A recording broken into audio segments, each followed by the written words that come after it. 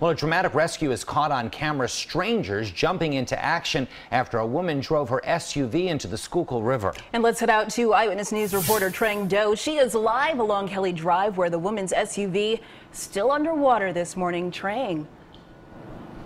Hey, Janelle and Jimbo, this is the parking lot next to the race grandstands where witnesses say the woman drove her SUV right out of this parking lot, down this dirt path, and straight into the water. But she is okay this morning thanks to some very brave Good Samaritans.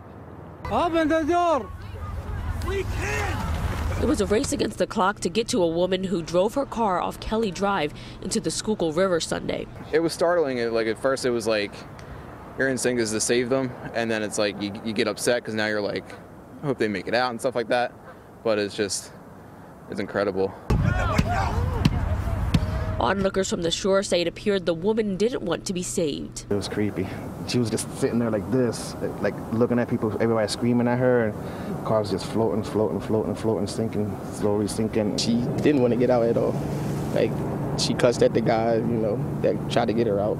She didn't want to get out. Eventually, somebody tossed them a tire iron. They were able to break the window. The men were able to free the woman and then place her inside a passing dragon boat, which rowed her to safety.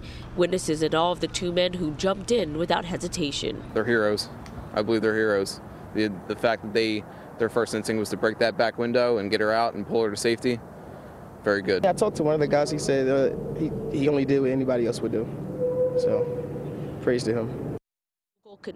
Taking a live look at the Schuylkill conditions right now, those Good Samaritans declined to be interviewed multiple times. Meanwhile, a dive team is expected back out here sometime this morning. They had tried to get the SUV out yesterday, but the current was just too fast, and then it got really dark. So they're going to make that attempt again later today. But for now, we're live from Kelly Drive. I'm Trang Do, CBS 3 Eyewitness News. Janelle and Jim, back to you. Thank you, Trang.